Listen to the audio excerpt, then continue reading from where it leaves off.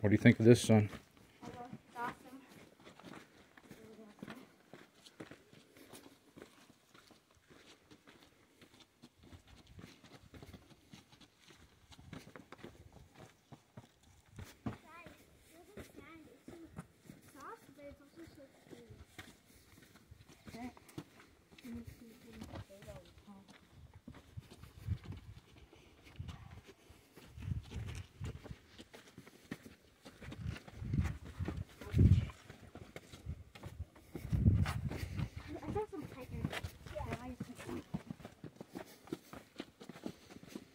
Well, there's lots of cars at the parking lot, so there's probably several people on the trail, which is good.